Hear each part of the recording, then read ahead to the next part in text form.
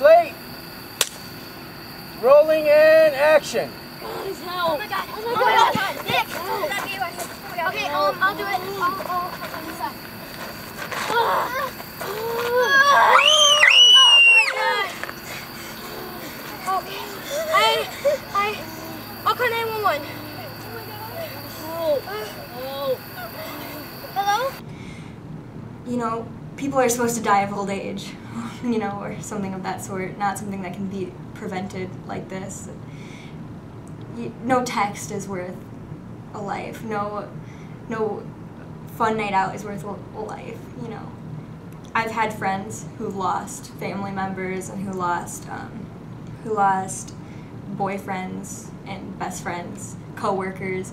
It's like when you live in Mendota, there's you can't meet a person without them having a story about drunk driving, irresponsible driving, texting and driving, etc.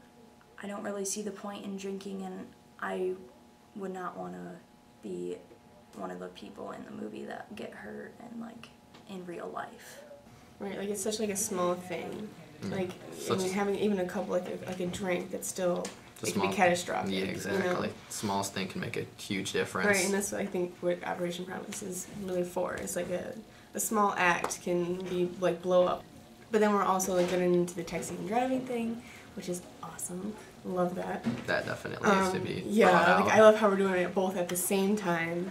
yeah. Um, and it's just, it's like one small act can be catastrophic, and I think that's what I think that's like the whole theme we're probably going for this year.